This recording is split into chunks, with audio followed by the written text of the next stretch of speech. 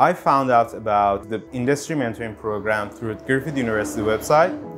And when I reviewed the program detail, I found it, it was exactly what I needed. I got my bachelor in architectural engineering. And after that, I found that everything is about management. So I came to Australia and studied a master degree in engineering project management advanced. The industry mentoring program has provided me with a great opportunity for accelerating my professional growth, enhancing my network, and gaining real-life understanding of my industry here in Australia. I was really happy that Griffith had uh, such a program like this because I had a wide area of mentors to choose from.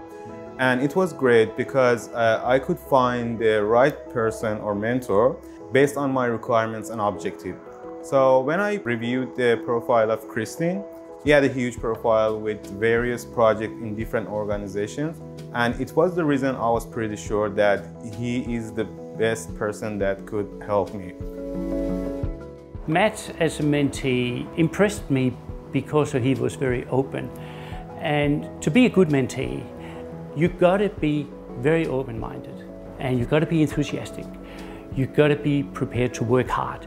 It doesn't come just by sitting back and not being prepared when you meet your mentor. Having the opportunity to show Matt what the real life is and the challenges he comes up against as a project manager, I think that's, that's part of my goal and that is my job to do.